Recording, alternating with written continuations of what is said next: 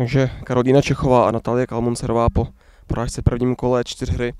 A Jaký to byl zápas z toho vašeho pohledu? Uh, tak zápas, uh, měli jsme těžký soupeřky, hlavně teda ta Werner dělala tlak i na síti i ze zadu a dobře podávala a špatně se proti ní docela hrálo. No.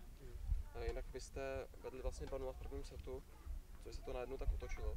No, vedli jsme 2-0 a byla to no ad. A vlastně dali jsme to do pásky, do, teda já jsem to dala do pásky do prázdného kurtu, no a oni se trošku chytli a začali si víc věřit, asi bych řekla, a zlepšili svoji hru, no. Jo, tam si myslím, že jsme měli šanci, pak byl zase game na no ad, jsme prohráli a bylo 2-2, mohlo být 4-0, tam jsme Jo. možná ten set mohli nějak kousnout se štěstím, no. Plánujete třeba ještě spolu odehrát nějaký turnaj?